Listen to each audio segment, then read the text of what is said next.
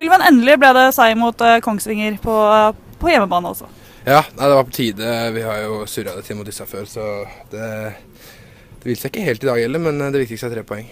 Du skårte det første målet. Det må ha vært deilig å få satt inn en uh, skåring på Kongsvinger etter to kamper med null. Ja, ja det er helt utrolig at det, at det går an. Men uh, så deilig å få, få sett den på dem tidlig, så de merker at vi var på i dag. Så, uh, men det blir jevnt til slutt uansett. Vi må prøve å luke bort det. Hva er det som gjør at det blir jevnt, og at det ikke helt klaffer mot de antatt dårligere, dårligere lagene i ligaen? Uh, jeg jeg veit ikke. Vi er vel kanskje ikke uh, like gode når vi får styre matcha som vi får, får ligge litt uh, og vente. og Kongsvinger har nesten satt seg litt i huet på oss, tror jeg, så det var veldig deilig for oss å bare få ri av den her. Det ble tre poeng, viktig poeng nå som det er så jevnt som det er, og dere har spilt færre kamper enn motstanderne.